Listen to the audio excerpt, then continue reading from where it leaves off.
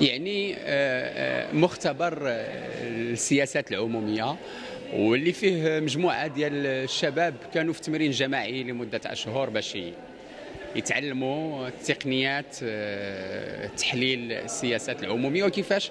ممكن كشباب مغاربة نقترحوا بدائل في قطاعات معينة وحلول أفضل الاشكالات اللي كنعيشوها كمجتمع وكدوله ارتأيت أنا كشاب مستفيد من هذا المختبر هذا أنه زيادة على ذاك التمرين الداخلي وزيادة على ذيك الدورات التكوينية وزيادة على الأوراق التي تسلم في آخر المطاف من طرف كل شاب أو شابة على السياسات العمومية والقطاع اللي خدم عليه أنه يكون نفتحوا هذا النقاش هذا وهذا التمرين هذا في الفضاء العمومي. داك الشيء علاش جينا اليوم المقر ديال المعهد الملكي للثقافة الأمازيغية وحنا معيطين على كاع الفاعلين اللي مرتبطين بالموضوع ديال الحكامة الأمنية في المغرب.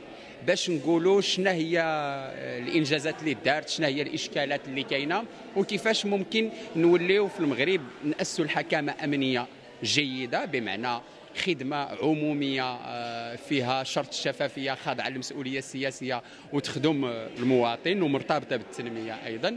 أه ومع مجموعة ديال الناس مهتمين اللي جاوا اليوم. تذاكروا كان عندنا لجنة العدل والتشريع وحقوق الإنسان ممثله في حسن طارق الفيدرالية الدولية لرابطة حقوق الإنسان ممثله في أمينة بوعياش كانت عندنا المجلس الوطني لحقوق الإنسان.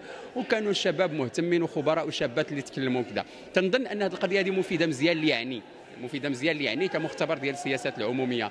وأيضا مفيد أنه دخلنا مؤسسة إعلامية كبيرة آه، بحال هيس بريس اللي هي الرقم هي الموقع الإلكتروني الأكثر مشاهدة على مستوى المنطقة المغاربية والثالث في العالم العربي باش كنهزوا هذا الشيء. ما كيوليش غير في حدود هذه القاعة ديال ديال الاحكام ولكن كيوصل لأبعد مدى ممكن من خلال التغطية الإعلامية ديال موضوع السياسات الأمنية آه، في المغرب والأفكار المطروحة من بعض الفاعلين فيها. كنتمنى أن هذه تكون آه، إلا بغيتي تقول آه، بيبينيير.